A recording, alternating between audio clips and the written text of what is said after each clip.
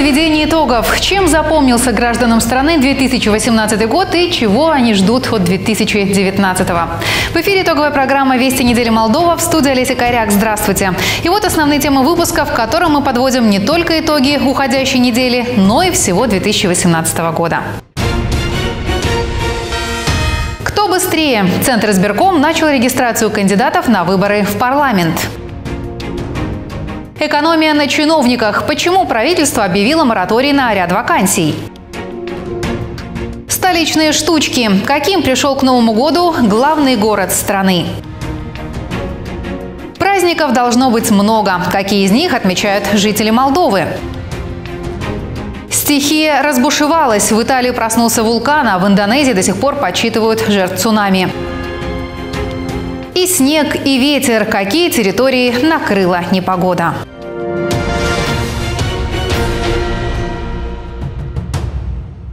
А теперь подробно об этих и других значимых событиях уходящей недели и всего 2018 года. Каким его видят жители страны, эксперты из разных областей, представители партии, председатель парламента и глава государства, узнаем на протяжении этой программы. Но сначала о старте зимних праздников. Они стартовали в начале этой недели, 25 декабря, когда часть жителей Молдовы отметила католическое Рождество. Другая часть населения отметит его 7 января. В нашем календаре обе даты выделены красным, а значит, это выходные дни. Как их проводят жители столицы и сколько они готовы потратить на праздничный стол, выясняла наша съемочная группа. Жители столицы к праздникам относятся с уважением и отмечать Рождество собираются как по старому, так и по новому стилю. И по старому, и по новому, потому что наполовину поляк, а наполовину молдаван. И по старому, и по новому. А почему? Потому что вот так хотят мои дети. Они помоложе, они считают, что надо и так, и так. И стол наши граждане будут накрывать дважды. Что касается меню, предпочтение отдают традиционным молдавским блюдам. Мы едем к родителям, мама готовит, мы ей помогаем. И готовит традиционную еду, как в деревне, голубцы, холодец. Ничего особенного, все молдавские блюда. Все молдавские плацинды, особенно голубцы, фриптур. Мы едем к бабушке в деревню. Она готовит традиционную для Рождества еду. Столом занимаются в основном женщины, поэтому мне не принципиально. Праздник Рождества Христова отмечается в разные даты из-за различий в юлианском и григорианском календарях. Согласно григорианскому календарю, Рождество выпадает на 25 декабря. В Молдове этот день впервые сделали нерабочим в 2013 году. А согласно юлианскому календарю, Рождество христиане отмечают 7 января. Вообще же в Молдове всегда было принято праздники, особенно рождественские новогодние, отмечать пышно, чтобы столы ломились от явств. Однако сейчас далеко не все могут себе это позволить. По данным соцопроса, представленного в середине декабря Ассоциации социологов и демографов, свыше 27% населения живут за чертой бедности. А подавляющее большинство жителей Молдовы живут крайне бедно, не имея возможности побаловать себя, приобретая лишь строго необходимое.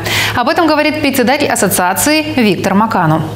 У нас 67% населения или две трети опрошенных живут бедно или за чертой бедности. То есть это бедные и очень бедные люди. Четверть населения еле сводит концы с концами, но как-то справляются. Всего 5% населения могут позволить себе более дорогостоящую покупку, но ради нее урезают свои потребности в чем-то другом. В данном случае речь идет о людях, представляющих средний класс. По результатам исследования, лишь полтора процента жителей Молдовы могут позволить себе приобрести дорогостоящие товары и услуги, не беспокоясь, что не хватит денег на жизнь. И лишь немногим более 9% населения довольны экономической ситуацией в стране, в то время как большая часть респондентов, почти 55%, уверены, экономическая ситуация в Молдове хуже некуда. Своим мнением о том, как развивалась экономика страны в уходящем году и какие перспективы ждут нас в будущем, делится со зрителями «Вестей недели» экономический аналитик Виктор Чубану. Вопреки бодрым реляциям нашего правительства о том, что год был замечательный, с хорошими экономическими успехами, э, на мой взгляд, э, год э, очень непростой, я бы даже сказал, плохой с экономической точки зрения тот рост, э, о котором нам говорят, а я думаю, что он будет около 4% по итогам года, никак недостаточен для того, чтобы обеспечить тот аттракцион невиданной щедрости, э, который нам демонстрирует нынешняя власть в преддверии выборов. И думаю, что в апреле все бюджетные дыры э, проявятся очень и очень сильно, и 2019 год будет еще сложнее для экономики Республики Молдовы, э, учитывая и тот факт, что в этом году, и вот это самое, самое знаковое событие, мне кажется, нынешняя власть э, ухитрилась рассориться практически со всеми внешними донорами, а э, внешние источники финансирования составляли э, где-то около 20% из, э, из бюджетных средств для нашей страны. Кроме того, я бы отметил очень рискованные и с далеко идущими последствиями законы, которые приняла нынешняя власть вопреки всем советам доноров. Это, э, я думаю, это пакетные законы. Это гражданство против денег и это э, амнистия капиталов. Это э, открытая форточка для отмывания грязных сомнительных денег. Об этом нас неоднократно предупреждали внешние партнеры, но власть к этому абсолютно не прислушивается поскольку э, ставка очень высока, и она единственная, это выиграть выборы любой ценой, откуда и вот все, э, все вот эти невиданные обещания, которые не имеют, на мой взгляд, бюджетного покрытия, но это очень длинный разговор на, на целую передачу, пожалуй, и, как я уже говорил, в апреле все это всплывет, и, и все эти проблемы возникнут с, с, с очень, очень и очень существенно для, для экономики нашей страны. Это уже повлияло, поскольку я хотел бы напомнить э, бодрые заявления нынешнего главы Нацбанка, а в прошлом министра экономики о том, что в этом году мы получим два транша от Евросоюза, и вот мы не получили ни одного, и эксперты об этом в том числе я говорили, так оно и случилось. Это, это уже по этому году э, мы идем с дефицитом. Я думаю, что э, рост в 3-3,5% э, он э, не только не решает проблем, а только усугубляет наши проблемы, поскольку никаких э, серьезных структурных реформ в экономике не произошло для того, чтобы обеспечить устойчивый долгосрочный рост, который мог бы способствовать улучшению качества жизни населения. Поэтому все эти меры не являются долгосрочными, и я думаю, это будет э, очередной пшик. Вот этот надутый перед выборами мыльный пузырь, пузырь э, лопнет в очень скором времени. Между тем, в канун Нового года правительство в целях экономии ввело временный мораторий на трудоустройство персонала в учреждениях, финансируемых из государственного бюджета. В проекте, утвержденном Кабмином 26 декабря, устанавливается, что число вакантных должностей в бюджетной системе составляет почти 8,5 тысяч. Большинство из них – в Министерстве внутренних дел. За ним следует Министерство обороны, здравоохранения, юстиции, финансов и сельского хозяйства. Мораторий будет действовать до 31 декабря 2019 года. Он не повлияет влияет на деятельность учреждений и государственных органов, сообщает информационное агентство «Молдпресс». Ну а пока правительство вводит новшества, парламент подводит итоги четырех лет своей деятельности. Нынешний созыв законодательного органа за это время 173 раза собирался на пленарные заседания, одобрил 900 законов и свыше 300 постановлений. Об этом сообщил в четверг, 27 декабря, на последнем году пресс-конференции спикер законодательного органа страны Адриан Канду. Подробности в нашем репортаже. Итоговая пресс-конференция спикера парламента продлилась полтора часа. Андриану Канду хватило времени, чтобы рассказать о самых главных событиях и достижениях в работе законодательного органа. Он отметил, что за четыре года депутаты утвердили 900 законов, провели более сотни слушаний, приняли ряд важных реформ в избирательной системе, системе юстиции и в банковском секторе. По словам Канду, именно голосование в парламенте изменило положение дел во многих отраслях. По словам Канду, все важные проекты, принятые депутатами, способствовали процессу модернизации страны и росту благосостояния граждан. Мы говорим и о росте заработных плат, пенсий. В республике построено 1600 километров новых дорог. Появилась энергетическая и спортивная инфраструктура, в том числе арена Кишинеу. Все это и многое другое достигнуто в том числе благодаря усилиям нынешнего правительства. În mare parte, acestui guvernări. Андриан Канду прошелся по всем ключевым достижениям законодательного органа, но есть и сожаления. В их числе синтагма «европейская интеграция», которую не удалось ввести в Конституцию Молдовы. Канду посетовал на то, что на принятие нескольких социальных проектов времени так и не нашлось. Trebuia să punem accent mult mai mult pe tot ceea Мы должны были уделить больше внимания людям с ограниченными возможностями, детям-сиротам и другим социально уязвимым категориям. Что касается их поддержки, то здесь всегда можно сделать больше, и для этого всегда есть место, но, к сожалению, наше время было занято другим. Завершая выступление, Канду поблагодарил за доверие, понимание и сотрудничество однопартийцев, коллег по парламенту и журналистов. Напомним, законодательный орган Канду возглавил в январе 2015-го, а мандат 20-го созыва парламента истек в ноябре этого года. Затронув на пресс-конференции множество аспектов работы парламента, Канду упомянул и о мерах по информационной безопасности. По мнению Канду, ее укреплению будет способствовать принятая недавно парламентом стратегия информационной безопасности на 2019-2024 годы.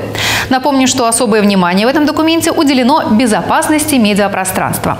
Однако большинство экспертов замечают, что в этом контексте речь идет в первую очередь о контроле за СМИ. Международные организации отмечают, что ситуация с масс-медиа становится в Молдове все хуже. Так ли это? Мы обратились за комментарием главе представительства в Молдове Российского информационного агентства ТАСС Валерию Демидецкому. Мы видим, вот на протяжении двух лет это практически трусость наших политиков, да, которые не в состоянии выставить свою аргументацию. Значит, там что-то у них нехорошо, раз они боятся, понимаете? Когда человек э, говорит закрыть, запретить, закрыть всем рот, значит, у него что-то не так с аргументацией, не так с его позицией, значит, не то он делает. Раз он боится этого, да, он боится открытого сопоставления позиций, открытого разговора. У нас часто боятся открытого разговора политики, да. Поэтому они раскупали себе каждый по каналу, и каждый поливает друг друга. Вот сейчас начнется избирательная кампания, мы увидим вот эти вот бронспойты с помоями, да, друг друга будут поливать. Ну и что? Можно купить там 20 каналов и 30 каналов, да, но если крокодил не ловится, не растет кокос, над этими каналами будут просто смеяться. Вот у нас очень многие передачи, когда смотришь, да, вот э, становится немножко неловко, да, от низкого уровня э, журналистов, которые представляют свои позиции, от их уровня знаний, от подготовки. Видно, что это было сделано в ППХ, некачественно, да, и вот хочется, да, вот просто щелкнуть. И тут вдруг оказывается, что а щелкнуть-то некуда. Понимаете? Вот власть нам говорит, а щелкать некуда, будете смотреть это. Но снова вернемся к итогам политического года. Как оценивают их эксперты, что пророчит нам на следующий год? С этими вопросами мы обратились к политическому аналитику Корнелию Чуре. Было несколько событий в этом году, которые были интересны для общественного мнения. Но это, конечно, взаимодействие партий. В первую очередь это отстранение президента. Это новая практика политическая, которая применяется у нас.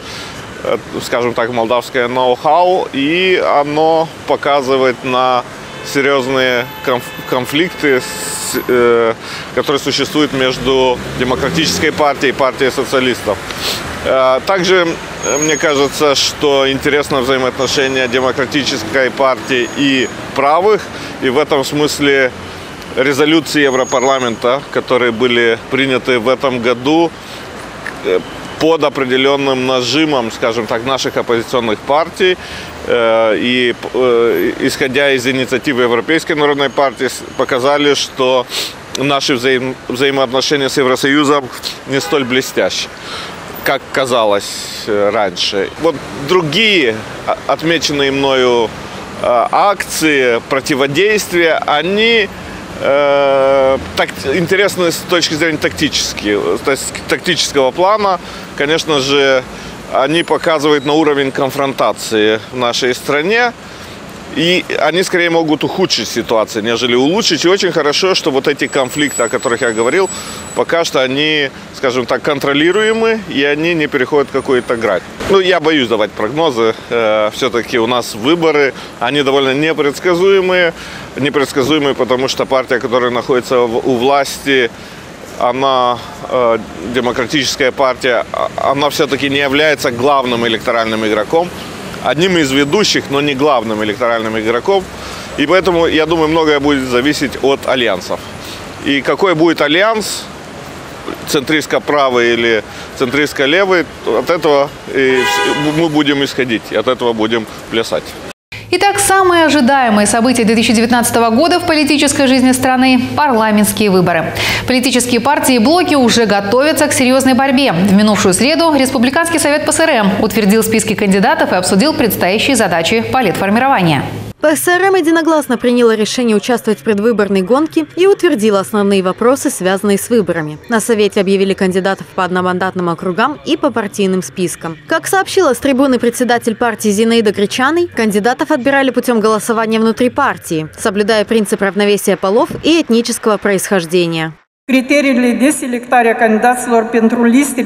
Критерии отбора по партийным спискам были следующие. 40% кандидатов из списка из 55 человек – это женщины. К этому обязывает законодательство. Согласно решению исполнительного комитета партии, а также Республиканского совета, 30% кандидатов по спискам партии социалистов будут другой национальности, не молдавской. Listele Partidului Socialiștilor vor fi alte etnii decât moldoveni. Во главе партийного списка лидер ПСРМ Зинаида Гречаной. Она также будет баллотироваться и по одномандатным спискам в округе Брычень. Также в партийном списке числятся и нынешние депутаты Влад Батрынча, Эдуард Смирнов, Богдан Цирдя, мунсоветник Ион Чебан и Гай Квартанян, а также ряд представителей партий в районах и эксперты в различных областях. Некоторые из представленных по партийным спискам также будут баллотироваться и по одномандатным округам, включая столичные. За границей ПСРМ будут представлять Георгия Пара в России, Ротер Вадим в ЕС и Гай Квартанян в США и Канаде. Руководство партии предложило возглавить список кандидатов бывшему лидеру ПСРМ, президенту Молдовы Игорю Дадону. Глава государства поблагодарил за оказанную честь и уточнил, что решение на этот счет будет принято до 24 января. Избирательная платформа партии социалистов Республики Молдова имеет несколько очень важных приоритетов. Это обеспечение рабочих мест, достойные зарплаты и пенсии, это бесплатное здравоохранение, это бесплатное государственное образование, это все, что касается обеспечения государственности, нейтралитета президентской республики. Также в своей программе ПСРМ предлагают ввести добровольную сдачу экзамена на степень бакалавра, увеличить стипендии, запретить формирование выступающей за ликвидацию страны, отменить запрет на ретрансляцию российских передач и вернуть русскому языку статус языка международного общения. Продолжим говорить о предстоящих выборах и партийных планах. На этой неделе стало известно, что Адриан Канду занял третье место в партийном списке демократов для предстоящих в феврале выборов в парламент. Возглавляет его лидер ДПМ Влад Плохотнюк. Вторым идет премьер-министр Павел Филипп. Они будут также баллотироваться и по одномандатным округам. Кто еще значится в партийном списке демократов, расскажем в следующем репортаже. Кандидатуры для одномандатных округов предварительно согласовались с территориальными организациями Демпартии. А на заседании Национального политического совета кандидаты были представлены, после чего проведено голосование. Совет выразил доверие избранным кандидатам, учитывая их потенциал для дальнейшего представления интересов граждан. НПС попросил все организации и всех членов ДПМ максимально мобилизоваться в предвыборной кампании. Отметим, что в списке кандидатов первым числится председатель ДПМ Влад Плохотнюк. На второй и третьей позициях Павел Филипп и Андрей Адриан Канду соответственно. Сергей Сырбу занимает седьмую строчку, а десятку первых кандидатов замыкает почетный председатель демократов Думитру Дьяков. Министр здравоохранения Сильвия Раду также внесена в список ДПМ. Она занимает двадцатую позицию. Глава партийная принадлежность у Раду не заполнена. Между тем, в минувшую среду Центр избирком уже начал регистрацию кандидатов электоральной гонки. В первый же день, по информации ЦИК, было подано более 100 заявок от кандидатов по одномандатным округам. Кроме того, в минувшую среду представила партийные списки Демократическая партия, партия социалистов и блок АКУМ, а в четверг подала заявку в Центр избирком партия Илона Шора. Как отмечает пресс-служба политформирования, в списке 51 человек, 41% женщины. Первое место в списке занимает председатель партии мэр Аргеева Илон Шор. Второе – мэр коммуны Жора Демижлок Марина Таубер, а третья – Петру Жордан, директор компании «Авиаинвест», управляющий Кишиневским международным аэропортом. У входа во Дворец Республики, где проводятся процедуры регистрации, Илона Шора ждали сторонники политформирования. Шор заявил, что вместе со своей командой профессионалов он намерен поднять уровень жизни всех граждан страны по той модели, которую он внедряет в Архее. Лидер партии Шор уточнил, что намерен выдвинуть свою кандидатуру и по одномандатному округу. А вот партии, выступающие за объединение Молдовы с Румынией, могут баллотироваться в парламент под единым национальным списком унионистов. С таким предложением выступила в четверг, 27 декабря, либеральная партия.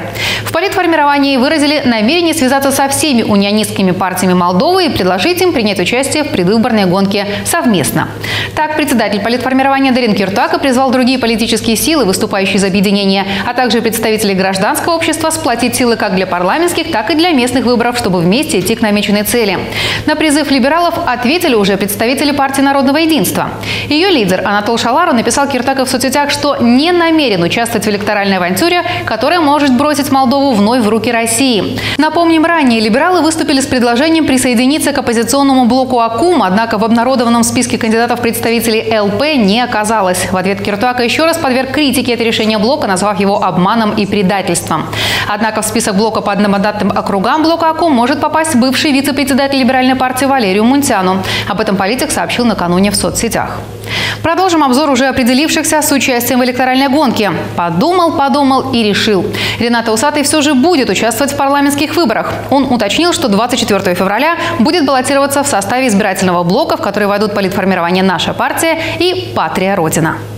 Формирование «Наша партия» примет участие в парламентских выборах как по национальному округу, так и по одномандатным округам. В предварительном списке заявлено 17 кандидатур в районах Фелешть, Флоришть, Кахул, Камрад, Кантемир, Былс, Кишинев и других. В северной столице в борьбу вступят Ивана Саяну и Елена Грицко. В Кишинев Сергею Урикяну, Ильян Кашу и Дмитрий Чубашенко. Работа над списком продолжается, время есть. Будет отдельное заседание Национального политического совета по этому вопросу, и по списку его лично объявит, э, скорее всего, сам председатель партии Рената Усатый. И вопрос по референдуму, потому что мы знаем, что одновременно с выборами 24 февраля назначен референдум по двум вопросам. Наша партия в этом референдуме не участвует. Мы не участвуем в играх э, партии власти. Как отметил вице-председатель нашей партии Ильян Кашу, в борьбе за место в парламенте у политформирования есть все шансы. Тот факт, что люди интересуются нашим участием в выборах, доказывает, что наша партия, возглавляемая Рената Усатом, живая, сильная, с реальной поддержкой в обществе, даже несмотря на манипулятивные фальшивые опросы. Мы уже однажды доказали 20 мая 2018 года в Белс, что вопреки режиму мы смогли завоевать поддержку граждан. Мы партия с реальными шансами. Напомним, что в 2014 году наша партия была снята с парламентских выборов. Как отметил Дмитрий Чубашенко, и сейчас формирование поступают сигналы о возможном снятии всех кандидатов с предвыборной гонки. Однако, несмотря на это, партия верит в успех и будет действовать в рамках электоральной кампании максимально прозрачно, не давая ни единого повода для провокаций. Но пока одни строят планы на предстоящую предвыборную гонку, другие от нее отказываются. На одного электорального конкурента меньше. Народная европейская партия Молдовы отказалась от участия в парламентских выборах. Такое решение было принято на заседании Национального совета политформирования. Его представители опасаются, что рост числа сторонников пророссийского вектора может привести к власти антиевропейские силы и заблокировать начатые в стране реформы. В заявлении НЕПМ говорится, что она выступит в поддержку кандидатов по одномандатным округам, которые продвигают европейские ценности. Напомним, один из членов НЕПМ Валерий Гелецкий заявил, что будет участвовать в выборах. Накануне он подал документы в ЦИК в качестве независимого кандидата по округу США и Канады. Обзор политической жизни страны продолжим и во второй части нашего выпуска, в том числе с гостем студии, который за прошедший год пообщался со всеми основными политиками страны. О молдавской политике он знает практически все и готов поделиться с нами своим мнением. Кто же это, узнаете сразу после короткой рекламы. Не переключайтесь.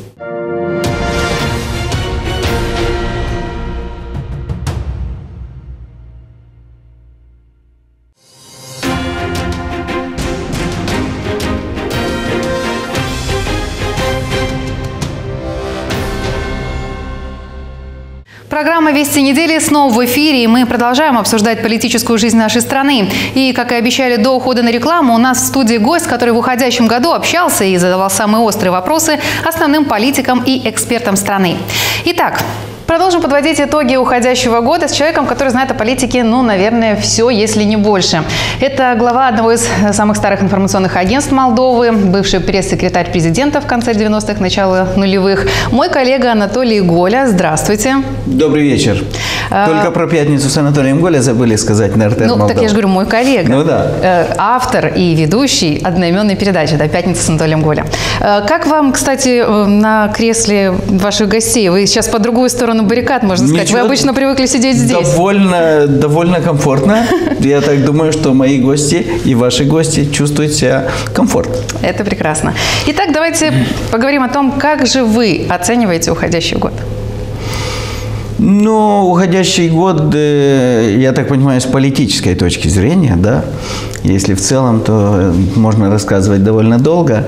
Что касается с политической точки зрения, я расцениваю как год разочарований, год больших вопросов, на которые мы не получили ответы. Год, в котором власти пытались решить определенные проблемы, но скорее выдавали, что они решены. На самом деле это не совсем так.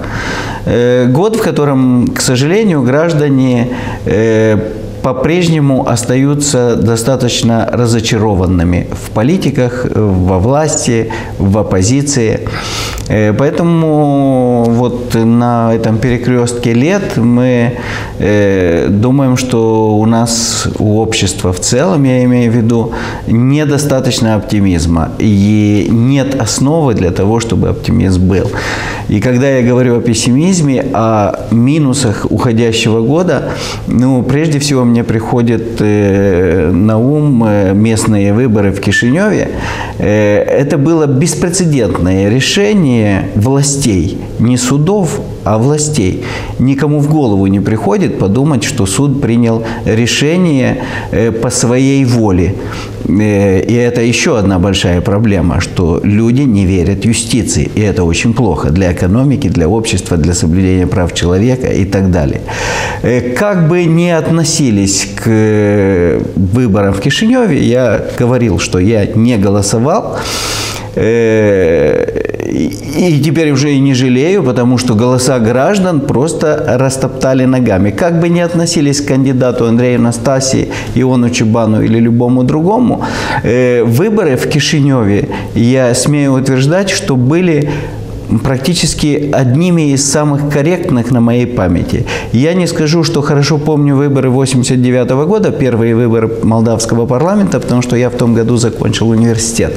А вот с 94 -го года я могу рассказать все про все выборы. 94 96 президентский, 98 парламентский и так далее. Абсолютно все. В нюансах, в деталях, в датах. Я скажу, что наиболее корректных, прозрачных, транспарентных, хорошо организованных выборов, как выборы выборы э, мэра Кишинева в 2018 году у нас практически не было. И что мне очень понравилось, э, два основных кандидата практически не зациклились на геополитике, как у нас обычно бывает. Обсуждались проблемы города. Появилась надежда, что вот эти люди что-то хотят сделать. Неважно, каких там они принципов придерживаются. И то, что пренебрегли голосованием людей, это, считаю, главным политическим минусом года.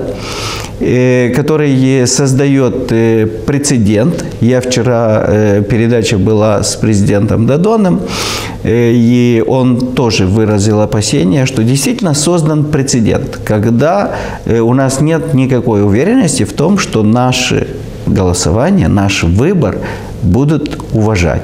Это да, очень, основа это, демократии, это она очень как плохо. бы попрана, можно да. сказать. А что вы скажете о уже пятикратном отстранении главы государства самого, о котором мы сейчас упомянули? Этот вопрос мы тоже обсуждали с Игорем Николаевичем. Кто смотрел передачу, э, я считаю, это вопиющее решение Конституционного суда, э, пренебрежение основами демократии, но я считаю, что частично в этом виноват президент.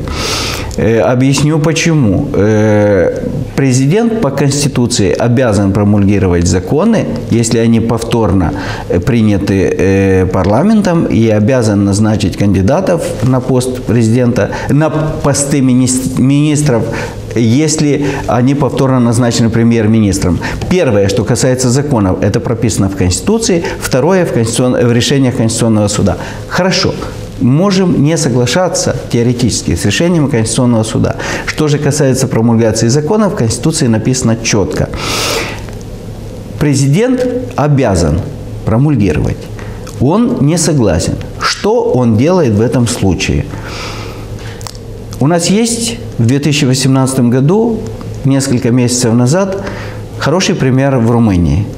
Э, президент Клаус Йоханнес был категорически не согласен с тем, что власти социал-демократическая партия, родственники демократической партии Молдовы, отстранили от должности Котруцуковиси, э, главного э, прокурора по борьбе с коррупцией.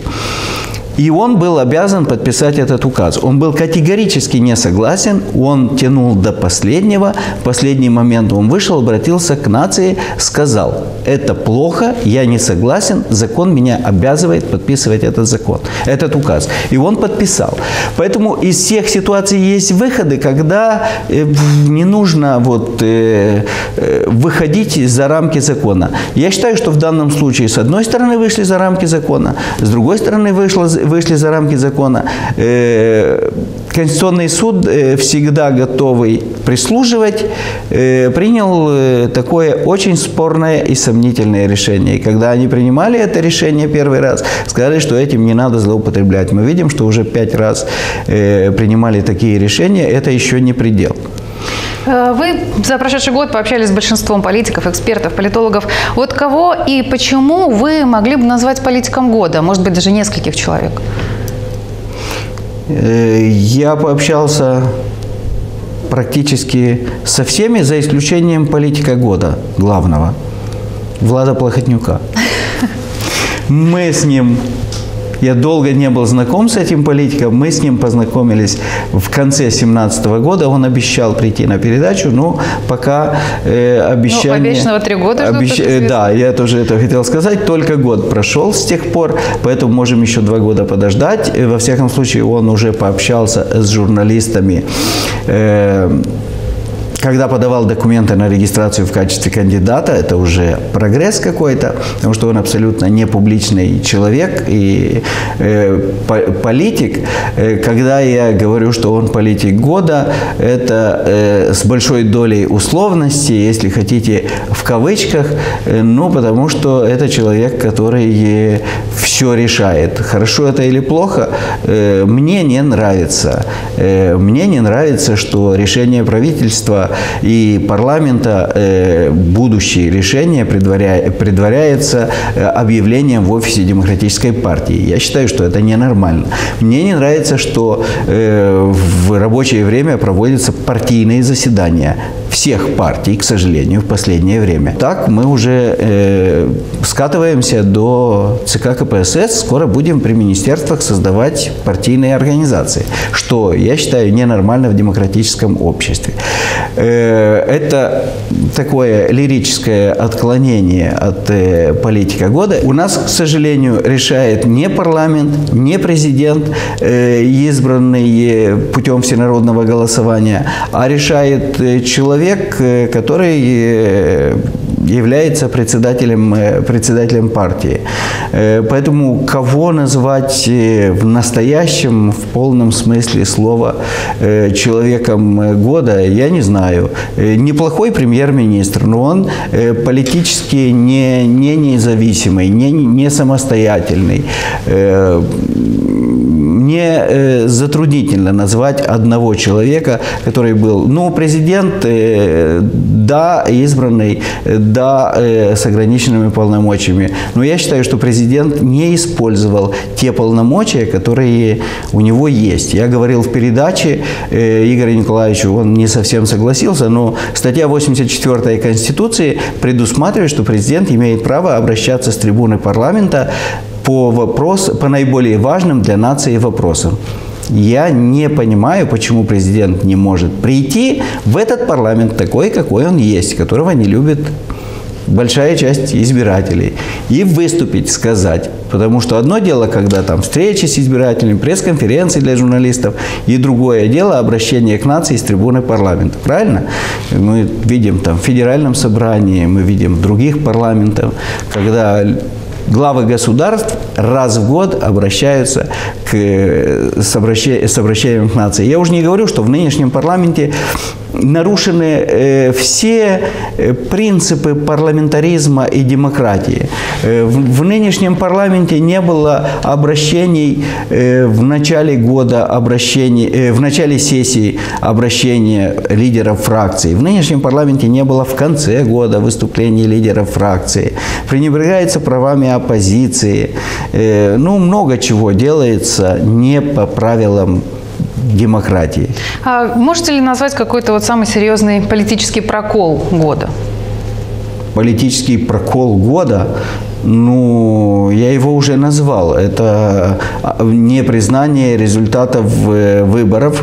Это привело к очень печальным последствиям и в отношениях с, э, с Европейским Союзом, и в отношениях с другими странами вообще, э, потому что Молдова всегда была образцом в том, что касается внедрения демократических стандартов в ходе выборов.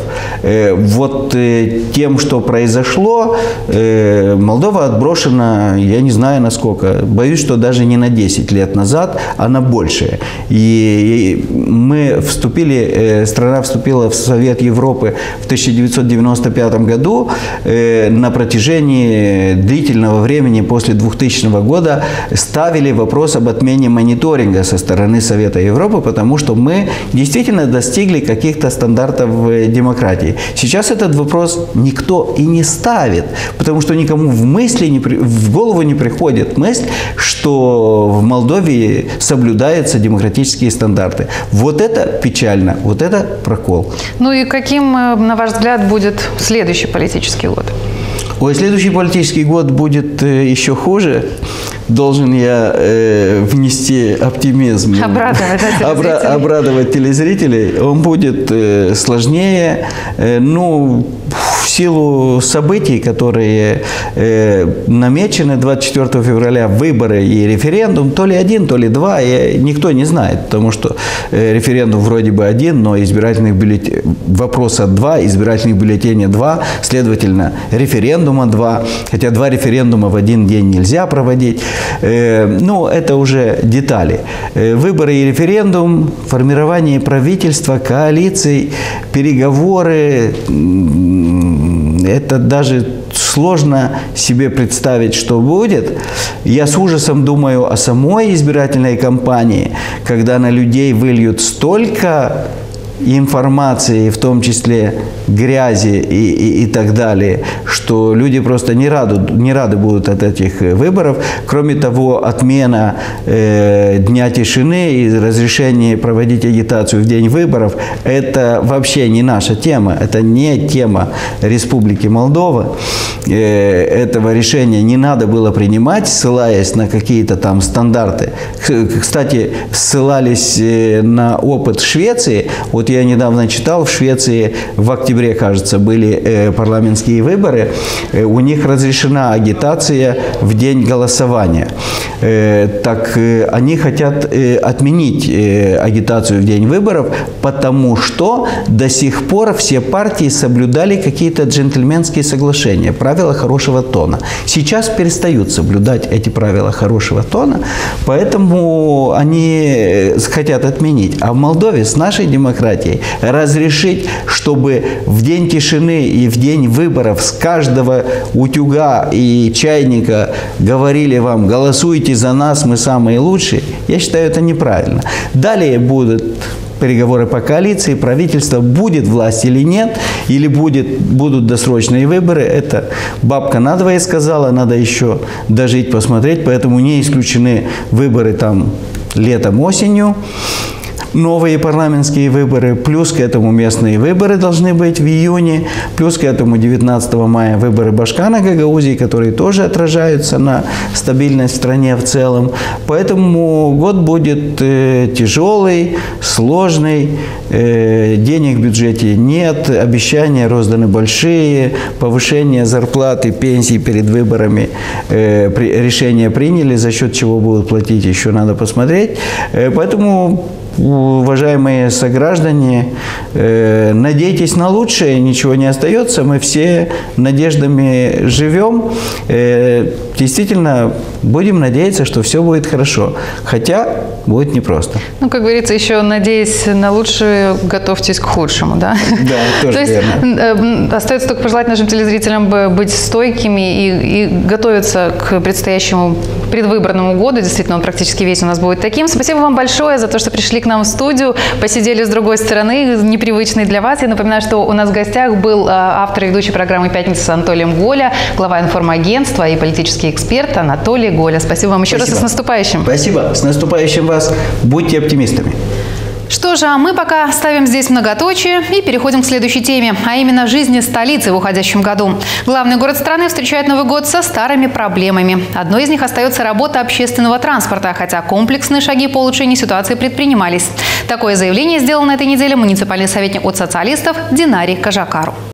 За последнее время было запущено несколько новых троллейбусных маршрутов в ряде пригородов столицы. Идея хорошая, но в Кишинеу есть такие улицы, как Гренобля, где существуют проблемы с общественным транспортом. Троллейбусы должны ехать до зоопарка, до ботанического сада. У всех граждан должен быть доступ к общественному транспорту. По Гренобле троллейбусы не ездят, только автобусы, а это проблема.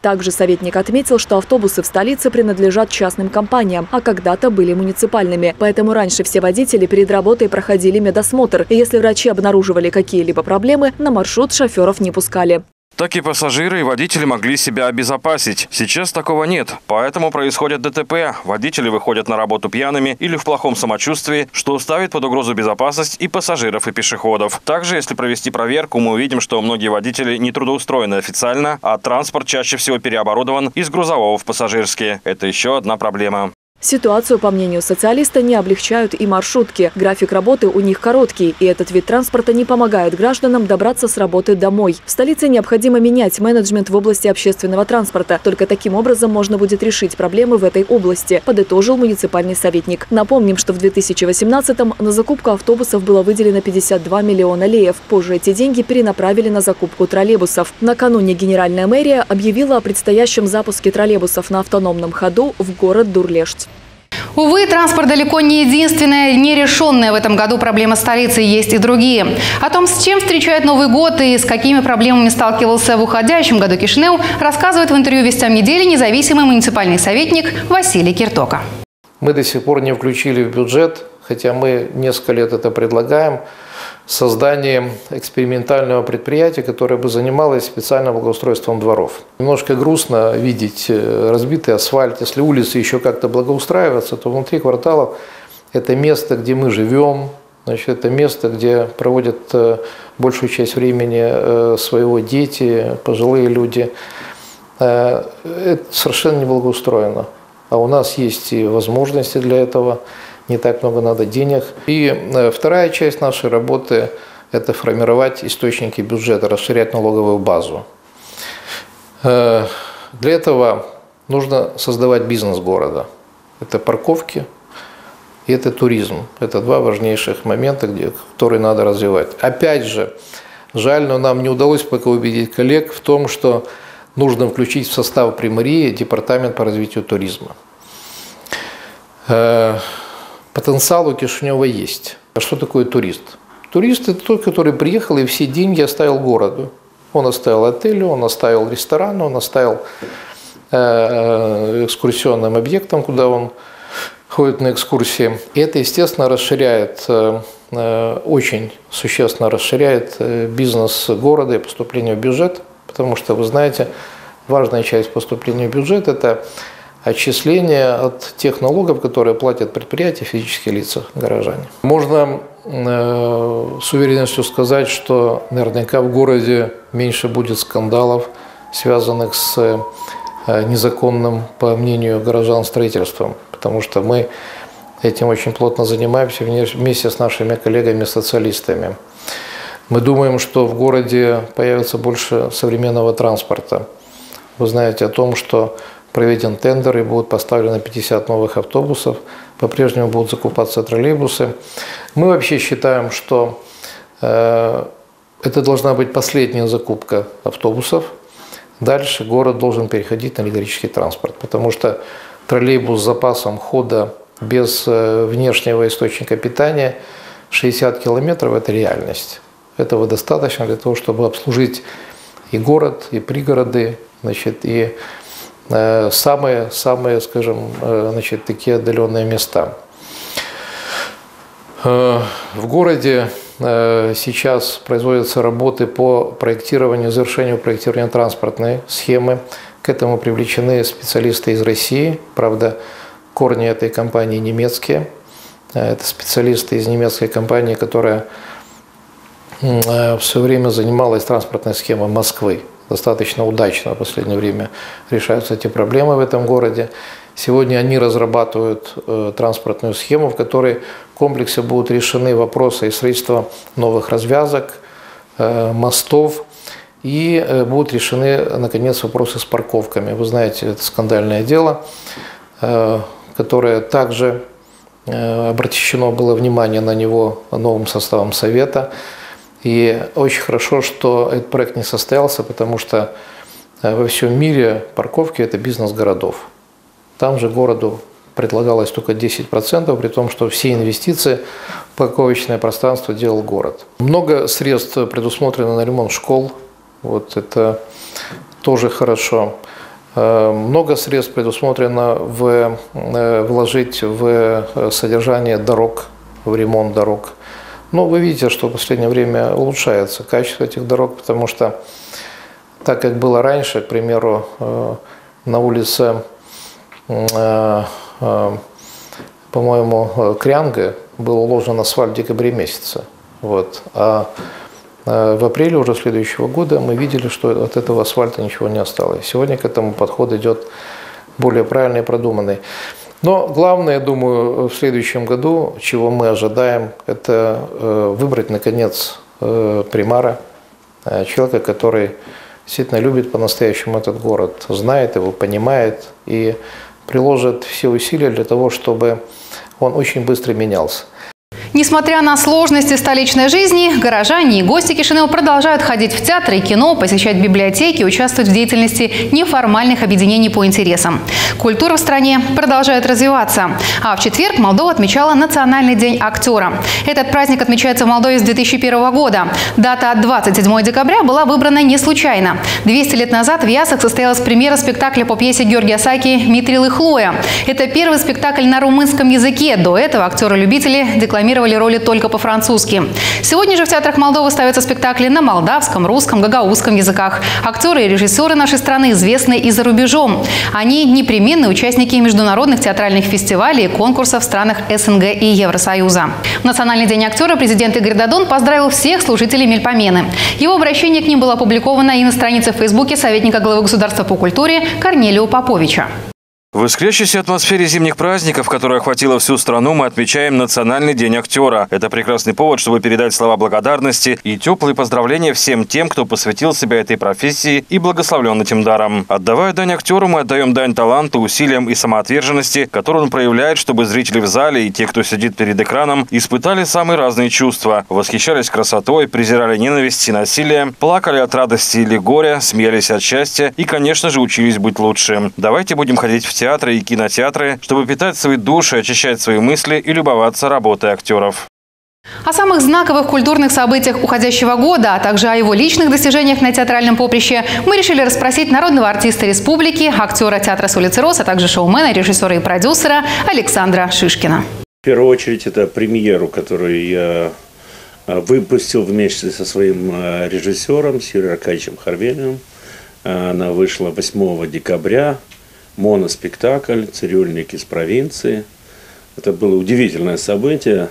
Мало того, что это премьера, а, это первый выход на зрителя, так еще и очень сложный выход, потому что в зале из 110 человек сидели все одни из ведущих критиков театральных, а, не только Молдавии, но и мира – сидели из, из Канады, из Москвы, из Германии, из Сеула, скорее. И актеры, э, и это было очень да, волнительно, очень фантастично просто. Ну, конечно, выход фильма э, Штефан Челмари, третья часть, это потрясающий фильм. И снят замечательно в тех условиях, как, каких он снимался – Э, я бы сказал, что это героический поступок и, и режиссера, и всей съемочной группы, и администрации. Молодцы, просто молодцы. Я непосредственно смотрел, как создавался фильм, потому что он создавался в соседней комнате. И это удивительно.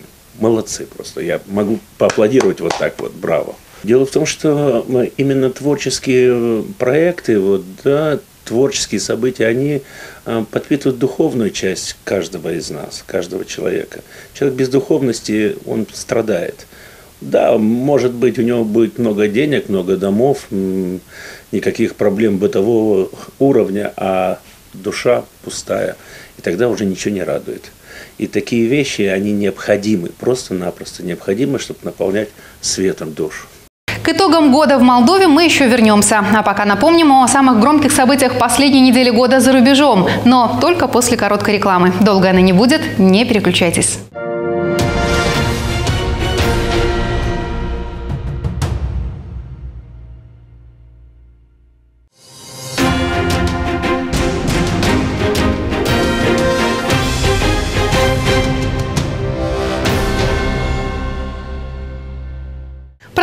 Обзор основных новостей последней недели года и, как обещали до ухода на рекламу, перейдем к важнейшим международным событиям. Начнем с соседней Украины. 26 декабря истек срок военного положения там. Президент страны Петр Порошенко, выступая накануне на заседании Совета национальной безопасности и обороны, объявил, что продлевать его не намерен. Напомним, военное положение было введено в 10 областях Украины в конце ноября после инцидента в Керченском проливе. Как заявил Порошенко, благодаря этой мере произошло значительное повышение оборонных способностей страны. В частности, была проведена работа по передислокации войск, осуществлены поставки новой и модернизированной техники. По мнению президента Украины, российская угроза никуда не делась, но в связи с предстоящими в марте 2019 года президентскими выборами он не хотел бы ограничивать право граждан избирать и быть избранными. Избирательная кампания на Украине стартует 31 декабря. О происходящем в Азии. Новый шаг к сближению между Пхеньяном и Сеулом. В КНДР прошла символическая церемония соединения автомобильных и железных дорог двух Корей. Правда, когда начнется движение транспорта, пока неизвестно. Северокорейские дороги нуждаются в ремонте, но в условиях действующих санкций проводить масштабные работы невозможно. А это значит, что зеленый свет на объединенных корейских магистралях может дать только Вашингтон. Обе стороны 38-й параллели это называют историческим событием. Торжественная церемония на станции Панмун в районе города Кисон в северокорейской части контроля состоялась вскоре после того, как из Сеула в сторону демилитаризованной зоны отправился спецсостав из 9 вагонов. Церемония знаменует начало реализации проекта по воссоединению автомобильных и железных дорог севера и юга. Среди участников, наряду с официальными лицами, члены семей, разделенных Корейской войной в середине прошлого столетия. Накануне специальная комиссия Юга вернулась после 10-дневной поездки. Она осмотрела 800 километров пути вдоль восточного и западного берега Северной Кореи. Когда начнутся сами строительные работы, еще не определено. Сделать предстоит много. Северокорейские железные дороги нуждаются в ремонте и модернизации. Некоторые участки изношены настолько, что члены комиссии были вынуждены пересаживаться с поезда на автобус. Объединение железных дорог станет шагом к объединению народов Корейского полуострова. Лидер КНДР Ким Чен Ын и президент Южной Кореи Мун Дже Ин договорились об этом на саммите в Пхеньяне в сентябре этого года. Для реализации этого замысла Сеул уговорил Вашингтон не препятствовать частичному снятию санкций Совбеза ООН с Северной Кореи, против которой введены жесткие экономические ограничения в связи с ее ракетно-ядерной программой. Далее перейдем к теме непогоды и разбушевавшейся стихии. Самолеты не летают, автобусы не ходят, машины не заводятся.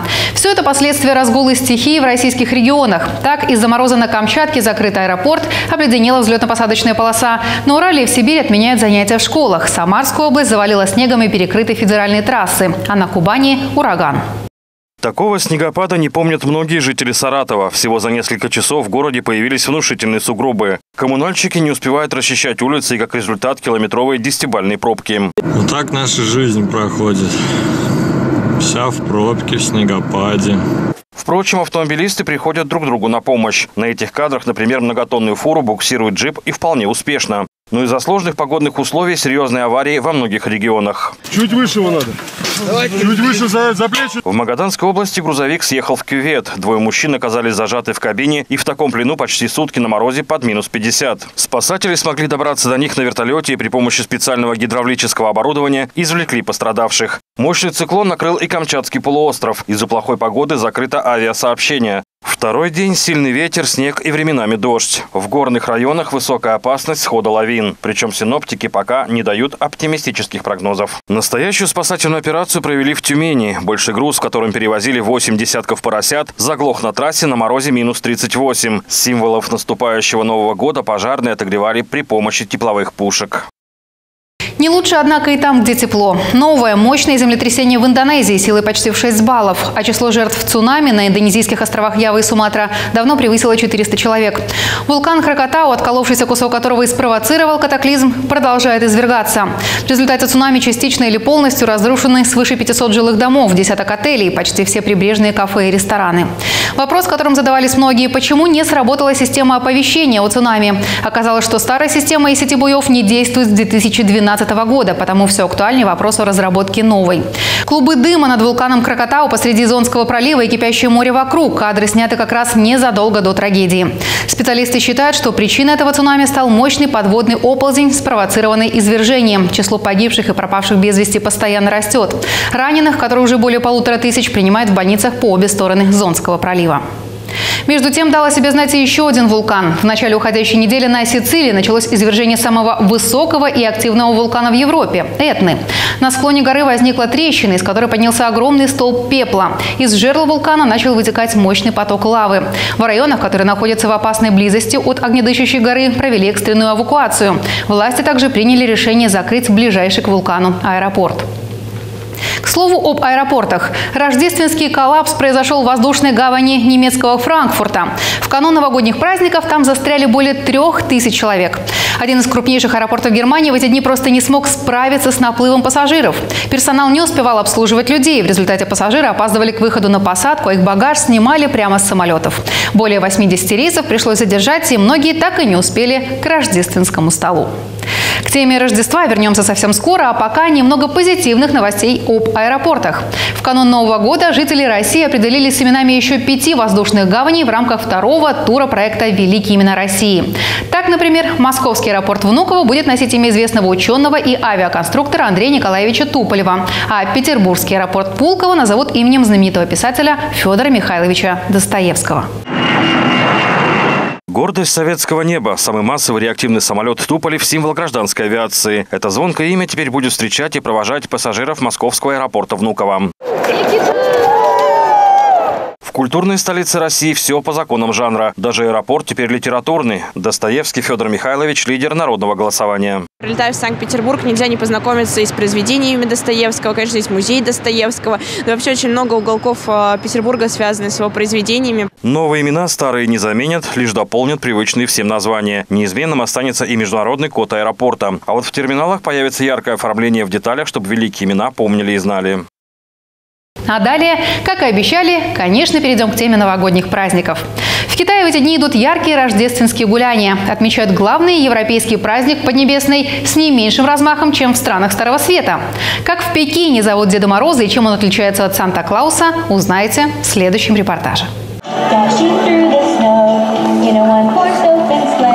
Новогоднего волшебника в Китае называют Шань Лао Жень. Это можно перевести как «рождественский дедушка». Своим поведением и внешним видом он практически не отличается от европейского Санта-Клауса или привычного нам Деда Мороза. У китайского дедушки не шуба, а красный шелковый халат, и придет он только через полтора месяца. А пока обязанности по раздаче конфет выполняет Санта, который, конечно, не обходит Китай стороной. Дарим подарки всем, обязательно. Всегда есть время для волшебства.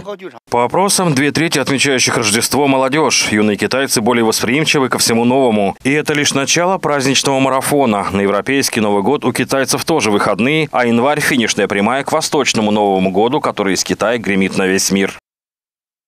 Тысячи гирлянд и фонарей, световые фонтаны и огненные арки. Санкт-Петербург готов к празднованию Нового года. В этом году в северной столице России установили рекордное число новогодних елок. Посмотреть на сказочное убранство города приезжают со всей страны и из-за рубежа. Четыре часа дня – самый волшебный час в Петербурге. Световой день в городе на Неве всего несколько часов, но перед Новым годом это прекрасно. Огни делают Петербург по-настоящему сказочным. Город вообще просто сказочный, чудесное впечатление, очень здорово, прям сказка. Фонтаны зимой продолжают работать, плещут лучами света, а огненные арки, которые ведут к набережной, как будто приглашают загадывать желания. Всем добра, главное любви, любви, да, семью, всякое такое спокойствие. Чтобы все было хорошо у всех. На Дворцовой площади под 25-метровой елкой развернулись предновогодние гуляния. А еще пение и скакание.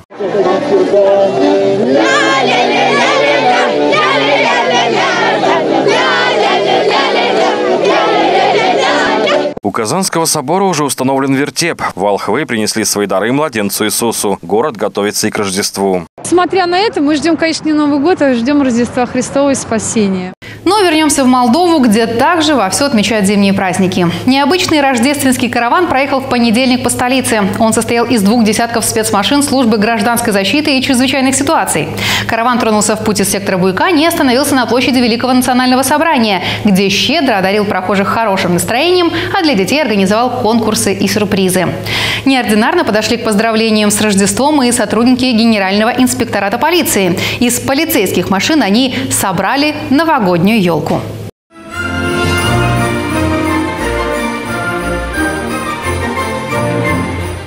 Каждый день они спасают жизни, а накануне решили спасти горожан от плохого настроения и взамен привезли новогоднее. На главной площади столицы припарковались 22 спецмашины службы гражданской защиты и чрезвычайных ситуаций. Сотрудники ведомства поздравили собравшихся на площади с Рождеством, провели конкурсы с призами, а самым маленьким вручили подарки. Затем рождественский караван спасателей отправился в столичный институт онкологии, где свою долю праздничных поздравлений получили маленькие пациенты. Сюрприз подготовили и сотрудники Генерального инспектората полиции полиции. На территории ведомства они создали из полицейских машин новогоднюю елку, а чтобы она светилась как настоящая, зажгли проблесковые маячки. Видео с поздравлением опубликовали в соцсетях. Еще одну необычную акцию провели молдавские байкеры. В костюмах Дедов Морозов они проехали около 60 километров по всей столице, после чего отправились в один из детских домов, воспитанникам которого подарили телевизоры и ноутбуки. И еще немного о необычных сюрпризах от представителей силовых структур. У полицейских погранслужбы на КПП Джуджулеш Тегалас на время праздников появился необычный четвероногий помощник, который помогает раздавать подарки всем, кто приезжает в нашу страну. Служебная овчарка по кличке Лаки обычно трудится в подразделении по оптимизации потока трансграничных перевозок, но сейчас свободное от работы время помогает пограничникам радовать въезжающих в страну. Более того, Лаки не только участвует в раздаче подарков, а еще и демонстрирует путешественникам свои умения и навыки, чем вызывает восторг пассажиров и дарит им хорошее праздничное настроение. А еще одна красивая и необычная новогодняя акция была организована в интернете участниками группы «Город без маршруток» в Фейсбуке. Акция «Дарю» стала самой массовой за всю историю страны, порадовав тысячи жителей Молдовы. Всем желающим было предложено сделать любой подарок незнакомому человеку. Желающих выступить в роли Деда Мороза оказалось предостаточно. Люди дарили друг другу сувениры, сладости, книги, предлагали бесплатный сеанс лечебного массажа, маникюр, педикюр и так далее, уборка квартиры, килограмм блинов, прививки для домашних питомцев, борщ и ценные вещи. Список презентов действительно впечатляет. Приятно осознавать, что в нашем обществе так много хороших, отзывчивых людей, способных делать чудеса. Ну а в завершении праздничной темы об официальных поздравлениях. Посол Российской Федерации в Молдове поздравил граждан нашей страны с наступающими праздниками. В своем поздравлении Олег Васнецов отметил совместные достижения, которых удалось добиться России и Молдове в этом году. А также выразил надежду на то, что в будущем наши страны станут еще больше консолидированными в работе, направленной на улучшение жизни народов обоих государств.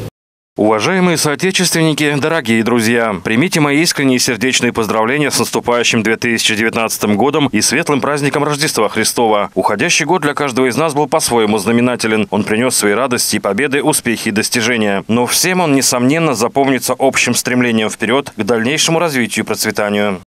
Но прежде чем закончить последнюю в этом году программу «Вести недели», хотим вас познакомить с тем, как оценивает уходящий год и чего ждет от следующего президент Молдовы. Мы рады, что уже становится доброй традицией подводить итоги года с главой государства. И мы приветствуем сегодня у нас в студии президента страны Игоря Дадона. Здравствуйте. Добрый день. С наступающими праздниками вас. И хотелось бы сразу вас спросить, вот год уже почти-почти завершен. Вот как вы оцениваете этот уходящий год в политическом, экономическом и социальном планах? Очень непростой год, но я думаю, что с хорошими результатами. Несмотря на все вызовы, которые были в течение этого года, мы добились неплохих результатов и во внешней политике, я имею в виду институт президентства, это и э, получили статус наблюдателя Евразес, первая страна э, в мире, которая получила этот статус, и мы уже участвуем э, в качестве наблюдателей во всех заседаниях Евразийского экономического союза. Мы провели очень активную внешнеполитическую деятельность, встречи на Западе и на Востоке, и проводили взвешенную внешнюю политику. Это второй очень важный момент. Третье, было очень много визитов в Республику Молдова, это официальный визит президента Турции. Наши несколько официальных визитов за рубежом. Я думаю, что по внешнеполитической деятельности в целом он был очень удачный. Внутри страны он был очень непростым. Э, я думаю, что все граждане заметили э, борьба и институциональные конфликты между президентом, правительством и парламентом. Э, это плохо, Потому что когда институты власти между собой не сотрудничают, мы имеем э, ту ситуацию, которую имели в течение этого года и прошлого года, к сожалению. Но, несмотря на это, нам удалось э, провести очень активную повестку э, по благотворительности. Мы помогали очень многим людям. Уже более 170 тысяч человек получили помощь от президента. Я лично встречался с людьми в более 300 населенных пунктах. Нам удалось в этом году отремонтировать президентуру который 10 лет назад, ну почти 10 лет, вот в начале следующего года будет 10 лет, 7 э, апреля 2009 года пострадала в результатах э, попытки государственного переворота, все это помнят.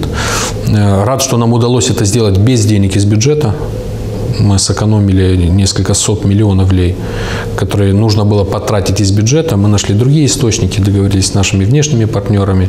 И символ государственности открыт. И вот в конце этого года более 500 детей уже навестили это здание. В следующем году каждую неделю мы будем делать День открытых дверей. Ну, в личном плане очень рад, что семья рядом все здоровы. Было, э, были вызовы и в этом направлении, вы знаете, аварию, через которую я прошел осенью этого года. Впервые, кстати, в истории Молдовы была такая авария с главой государства. Но у Бога на наш счет другие планы, как мне сказали, потому что обычно при таких авариях последствия намного тяжелее. Но мы здоровы, все вместе, поэтому год был хороший. Но вот следующий год многие эксперты предрекают как эм, еще более тяжелый, чем э, нынешний. А вот что вы ждете от Нового года как президент, глава государства и как гражданин этой страны? Следующий год – год избирательных кампаний. У нас несколько избирательных кампаний. У нас выборы парламентские 24 февраля, у нас выборы местные на всех уровнях летом следующего года. И у нас выбор еще Башкана Гагаузии в мае. И если в парламенте не будет парламентского большинства, есть вероятность, что у нас будут еще досрочные парламентские выборы. Конечно, когда в течение года три или четыре избирательные кампании, это очень непростой год, очень нестабильный. Э, эмоции будут зашкаливать и с одной стороны, и с другой. Поэтому э, ожидания и пожелания на следующий год, чтобы мы все-таки сделали все возможное, чтобы ситуацию не дестабилизировать. Чтобы мы вот через все эти выборы прошли спокойно. И, конечно, будет непросто потому что будет много заявлений, деклараций, много грязи в этих избирательных кампаниях. К сожалению, политики так. Но мы должны это пройти э, мудро, мы должны э, пройти все эти выборы демократично и не довести, не доводить ситуацию до дестабилизации. Мы видим, что происходит в других странах, поэтому я очень надеюсь, буду делать все возможное в следующем году в качестве президента страны, чтобы была определенная э, стабильность, несмотря на избирательные кампании следующего года. Ну и в завершении хотелось бы вас попросить поздравить наших телезрителей и зрителей нашей программы с наступающим Новым годом. Дорогие э, сограждане, дорогие друзья, во-первых, очень рад, что у меня есть возможность вас поздравить с из студии РТР Молдова.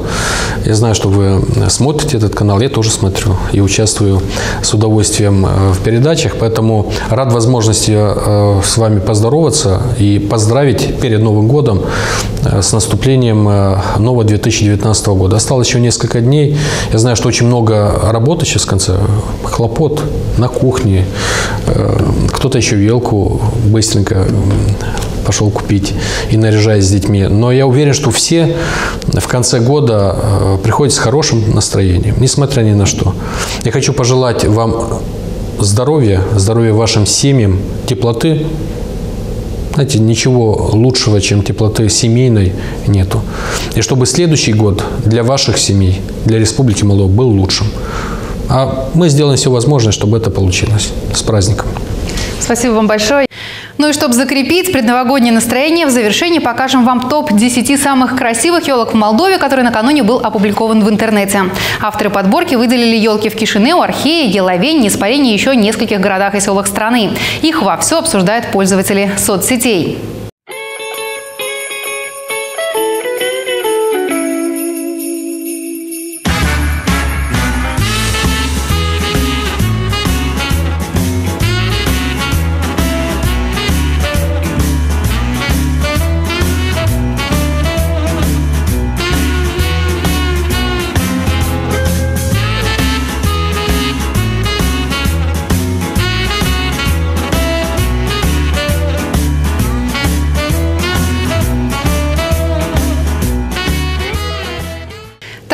Были итоги уходящего года. Мы были рады провести его вместе с вами, хоть и по разную сторону экранов. К сожалению, время нашей последней в этом году передачи подошло к концу. С вами его провела Олеся Кайряк.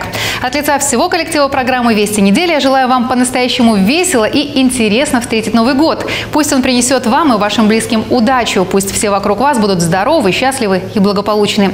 Любви вам, оптимизма и исполнения желаний. На этом позвольте попрощаться с вами до конца зимних каникул. Ждем вас у телекрана во второй половине января и будем с нетерпением ждать новых встреч с вами, дорогие наши телезрители. С Новым годом!